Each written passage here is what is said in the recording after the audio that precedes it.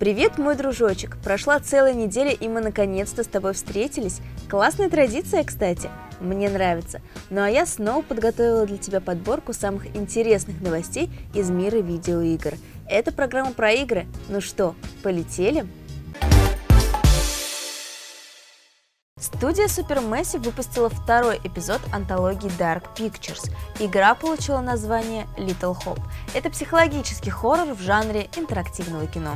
Это далеко не первый проект студии Supermassive, сделанный в таком стиле. До Little Hope разработчики уже выпустили бестселлер Until Dawn и Man of Medan, действие в которой происходило на заброшенном военном корабле. Минус новой игры именно в том, что она выглядит проигрышно на фоне предыдущих проектов студии. Little Hope не может сравниться по сюжету и геймплею с Until Dawn, а посредственные персонажи новой части оставляют игрока равнодушным к их личным проблемам. За их судьбу приходится переживать только, чтобы концовка получилась хорошей. Если Man of Madden смогла заинтересовать игроков, то Little Hope, созданная по механике практически один в один, вызывает вопросы к разработчикам. Давайте все-таки разберемся, что же происходит в Little Hope. Группа студентов во главе с нервным преподавателем оказывается на ночной дороге после аварии автобуса. Водитель пропал, а вокруг, кроме небольшого городка, ничего нет. В распоряжении у игрока есть группа студентов и еще два взрослых человека, которые, откровенно говоря, ведут себя еще хуже подростков. Профессор, который, по идее, должен взять на себя ответственность за всю группу, не блещет умом и смекалкой. А Анжела почему-то всем без причины хамит и вообще ведет себя довольно токсично. После аварии героям ничего не остается, кроме как идти пешком в тумане до заброшенного городка. Мрачно? Да.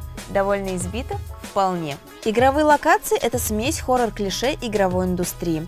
Полицейский участок, кладбище, краеведческий музей, супермаркет, церковь, канализация и дом после пожара.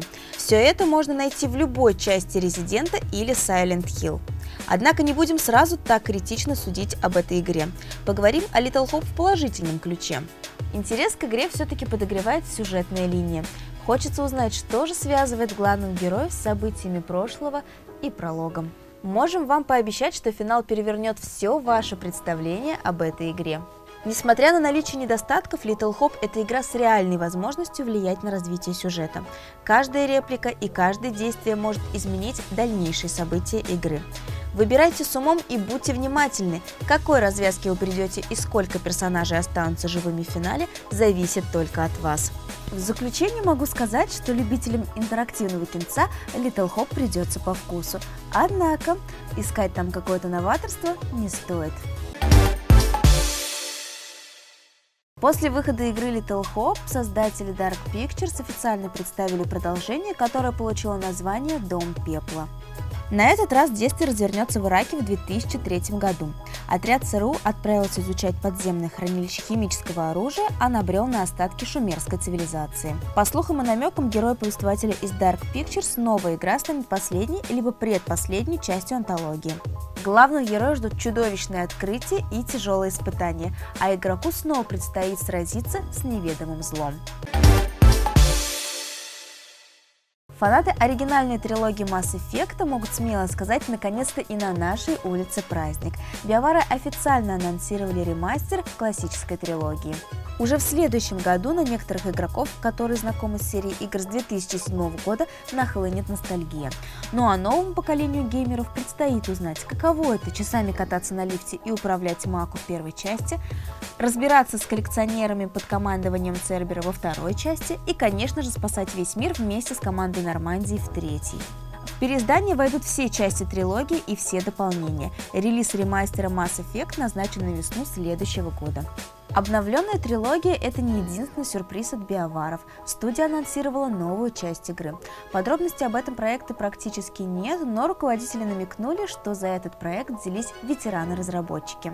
Пока что можно предположить, что сюжет новой части будет схожим с Андромедой.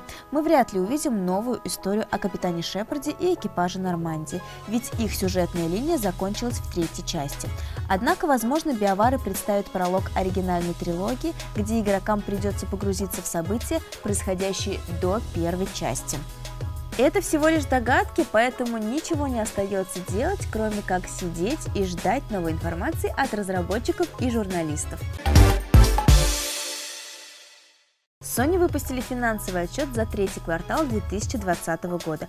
Общий доход от видеоигр составил почти 5 миллиардов долларов.